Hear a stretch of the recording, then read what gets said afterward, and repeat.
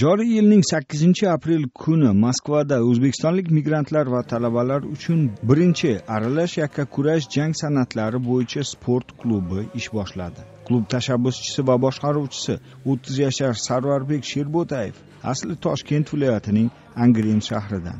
U moskvada qurilish va kvartira ta'mirlash ishlari bilan shug'ullanib keladi. Sarvarbek birgina moskvada aralash jang san'atlari bo'yicha yigirmaga yaqin qirg'iz va ikkita tojik jangovar klublari mavjudligi.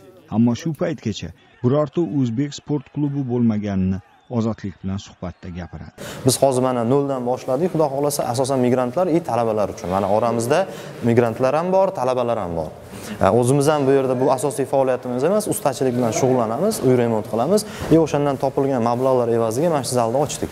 Asosan migrantlar uchun. Lekin kelajakda xudo xohlasa bizni zalimizdan professional jangchilar yetishib chiqadi degan umiddamiz. Mma mashqlarini muhojir yigitlar va moskvada tahsil olayotgan talabalar uchun jamshidbek ismli o'zbekistonlik malakali murabbiy olib boradi. Xudo xohlasa shu vef vefdan bo'ladi vef sport turidan bo'ladi. O'shandan bolalarni olib chiqmoqchi biz o'zbeklarni o'zini. Bu bu programma faqat o'zbeklar chiqadida o'zbeklar chiqadi bu yerda. Haqiqatdan o'zbekiston nomidan bir xil boislarimiz bor tam ahmaddan chiqadi или qozog'istondan lekin ular o'zbek lekin o'shanaqa klublardan chiqadi bizniki rossiya тренировка qilib turib o'zbekiston nomi bilan chiqadi bekor o'tirib misol sog'ligida zarar qilib bu chekib ichib yurgandan ko'ra sport bilan shug'ullangan ancha yaxshi deb o'ylayman. Yigirma birinchi aprel kuni xudo xohlasa moskvada любительский turnir bor. Xudo xohlasa mana bugun ochildi bizni barlos mma team klubimiz komandamiz. Xudo xohlasa bizni barlos mma nomidan xudo xohlasa o'zbekistonni bayroqlari bilan buka boksing formalarida ukamiz xudo xohlasa shu turnirga chiqadi.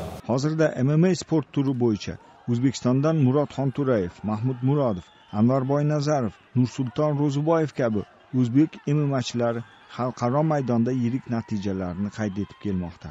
Shafqatsiz va qonli deb nomlanishiga qaramasdan bir ming to'qqiz yuz to'qson uchinchi yildan buyon mma rasmiy musobaqalarida ringdagi jang davomida olingan jarohatlardan to'rt kishi vafot etgani qaydga olingan.